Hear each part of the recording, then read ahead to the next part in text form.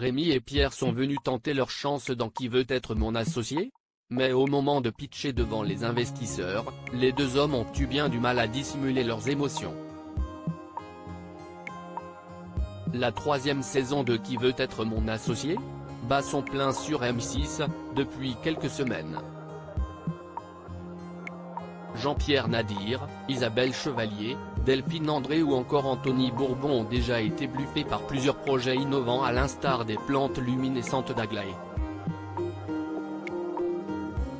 Mais d'autres sont loin de les avoir convaincus à l'image du surprenant coussin d'Aïr d'Olivier ou des drones de Jean Et certains connaissent même un succès fou depuis leur passage dans l'émission, comme les pailles de Marine et Jean-Sébastien, qui s'arrachent littéralement. Si est ce destin que rêve de connaître Tonton Pierrot, une entreprise portée par Rémi et Pierre.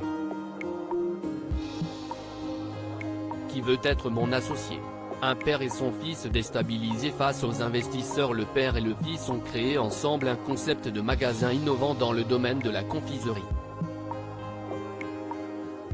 Dans ce projet, il s'appuie sur l'entreprise familiale qui crée des compositions de bonbons dans un petit village de l'Hérault, depuis 30 ans déjà.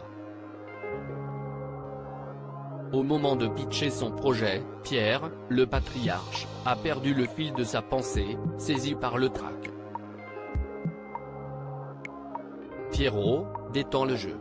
Prends plaisir, amuse-toi. Passez un bon moment, si est une chance pour vous d'être là et on n'est pas là pour vous juger.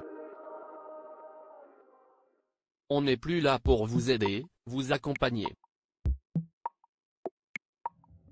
On sait que si est difficile de pitcher, mais prends du plaisir, tu vas voir, ça va bien se passer.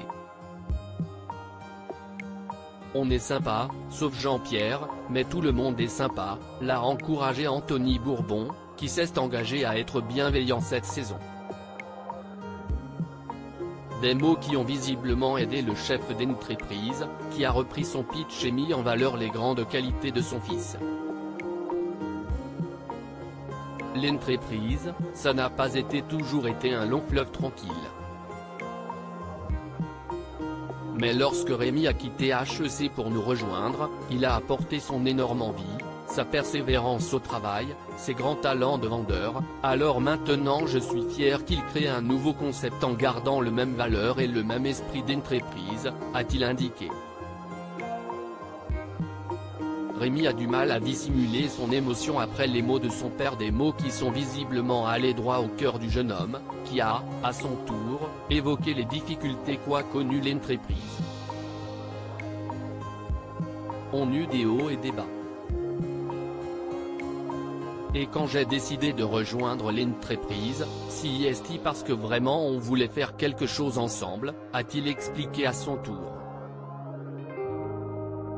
Avant d'être submergé par l'émotion. Mais qu'est ce qui se passe? Rémi lui a demandé Éric l'archevêque. Pardon, je ne sais pas pourquoi. Lui a-t-il répondu? Reste à savoir si l'engagement visible des deux hommes dans leur société et leur jolie relation père-fils touchera suffisamment les investisseurs pour qu'ils acceptent la valorisation demandée. À lire aussi J'ai déjà de la demande, Gina et ses toilettes la paix cartonnent avant leur passage dans Qui veut être mon associé?